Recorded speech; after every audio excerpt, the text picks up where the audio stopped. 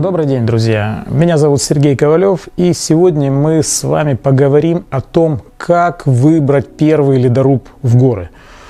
У нас простая задача с вами. Вы собрались поехать в горы и не хотите брать снаряжение в аренду. Это правильно. Всегда хорошо, когда у вас есть свое собственное снаряжение.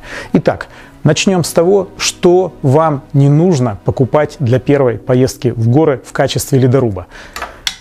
Вот такие красивые штуки в магазинах специализированных есть. Это не ледоруб, это ледовый инструмент. Он необходим для лазания по очень крутому льду или по обледенелым скалам.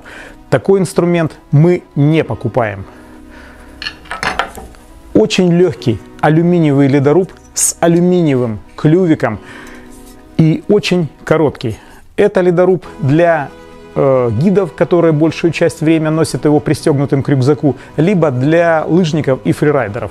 Короткий алюминиевый, очень легкий ледоруб мы не покупаем.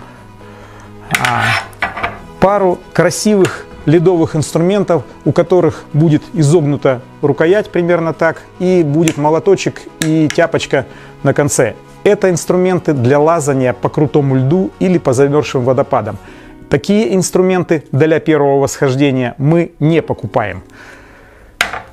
Итак, что у нас остается с вами на выбор? У нас остаются ледорубы с длинной, прямой или изогнутой слегка рукоятью с обязательно металлическим, а не алюминиевым клювом и, с, и с, возможно, алюминиевой или пластиковой ручкой, какой найдете. Чем они отличаются друг от друга? А, ледоруб с прямой рукоятью классический ледоруб а, идеален для пешеходных маршрутов. Но если вы собираетесь продолжать все-таки прогрессировать в альпинизме, ходить более сложные маршруты, чем маршрут для первого восхождения начальных категорий, то лучше все-таки, с моей точки зрения, выбрать слегка изогнутый ледоруб, который позволит вам не просто ходить а, пешком под маршрутом к вершине, но и использовать его для каких-то подлазов по более-менее крутому льду.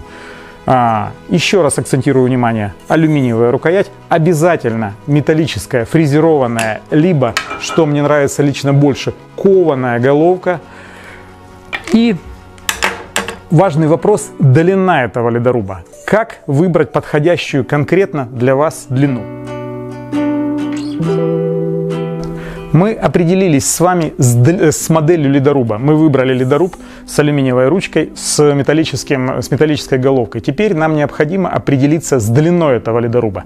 Каким образом? Мы берем ледоруб ру, э, в руку сверху и опускаем руку вдоль нашей ноги. Наша задача, чтобы кончик э, штычок нашего ледоруба примерно касался нашей щиколотки. Такая длина ледоруба позволит нам и комфортно, безопасно передвигаться по склону, и в случае необходимости организовать страховку на снегу или перилу, или перила этой длины будет вполне достаточно. Ну и поскольку ледоруб он должен быть не только функциональным, но еще и красивым, конечно, вы можете выбрать что-то такое эстетически олдскульное. Ледоруб с деревянной ручкой, и скованной головкой. Наверняка, если вы будете подниматься в Альпах, а, местные альпинисты оценят эту эстетику. Ходите в горы безопасно, ходите в горы с качественным снаряжением. Удачи в горах!